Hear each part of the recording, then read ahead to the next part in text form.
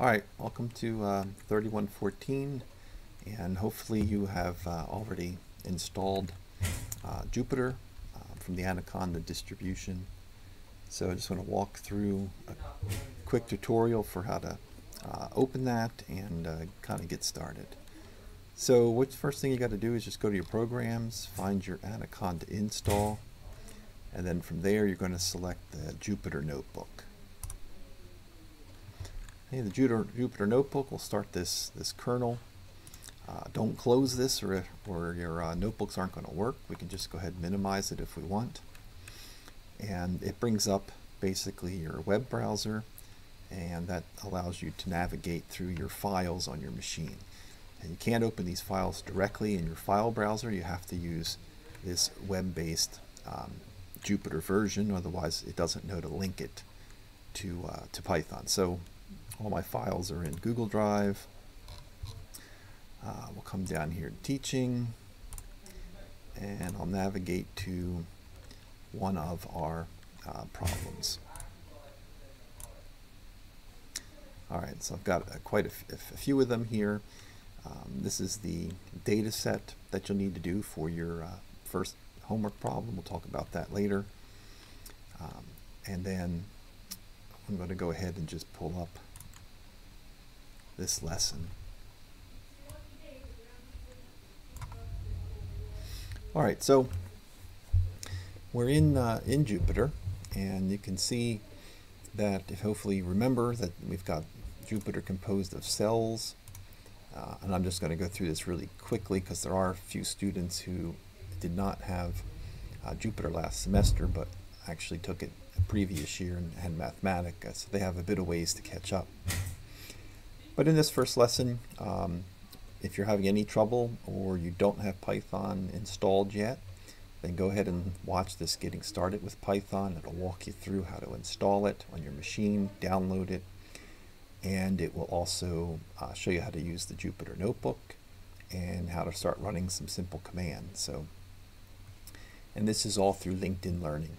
Uh, if you search Python in LinkedIn Learning, you'll find um, tons of videos to teach you pretty much anything you need to know, at least to get started with, uh, with Python. So, all right, so that's our um, uh, getting set up. Hopefully that'll get you the Anaconda build. If you haven't already done it, go do that and then come back. All right, so um, if you had Anaconda already from last semester, then all you're going to want to do is just update it. And so to update Anaconda, you're going to go down back to your programs, uh, back to the Anaconda, and you're going to pull up this PowerShell prompt. Okay, so that's what we've got going on here. We're going to pull up the PowerShell. Going to go ahead and exit it because I'm not going to need it. And in the PowerShell, you're just going to type conda update anaconda and then just hit return or enter and you should see your anaconda updating. Um, you don't have to do this, it'll work perfectly fine, but if you want to update it, then that's the way to do it. Alright, so after you've done that, we just come back to where we are now. You open your Jupyter Notebook, that's what we've done, and we used our browser to open up this first lesson. Alright, so I'm going to go ahead and, and, just make a new notebook and we're going to come back to this lesson uh, in the next uh, video.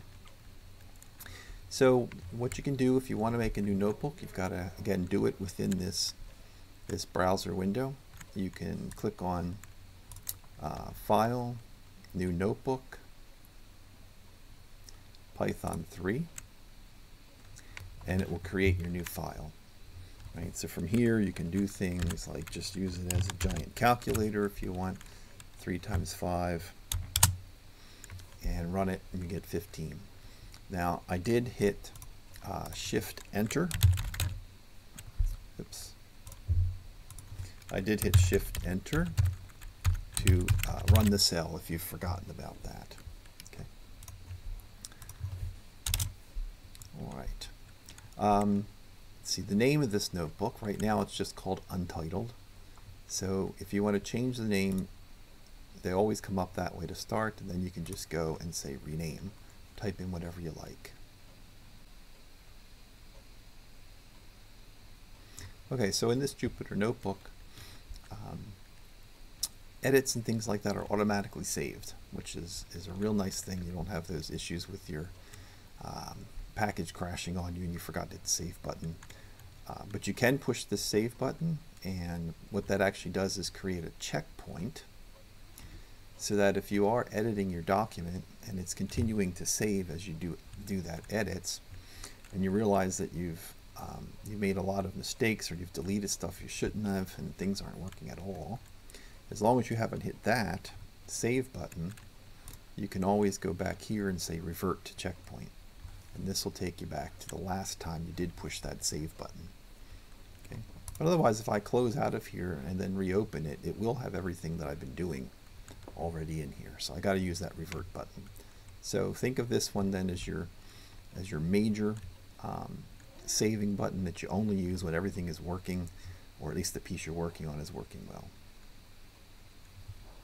Uh, if you want to um, shut down your notebooks, then you can just go ahead and, and close them up.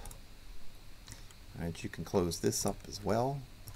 But what you're going to find is that this kernel is still running. So the way that you close this window so that you can open up Anaconda or Python fresh next time, Jupyter, is just um, you know make sure that you've got this active and just hit Control C two times and it will shut the kernel down and now your Jupyter is completely closed down uh, on your machine. Okay, so that was Control C twice. Okay, with that we will um, take a break and come back and run through some simple commands.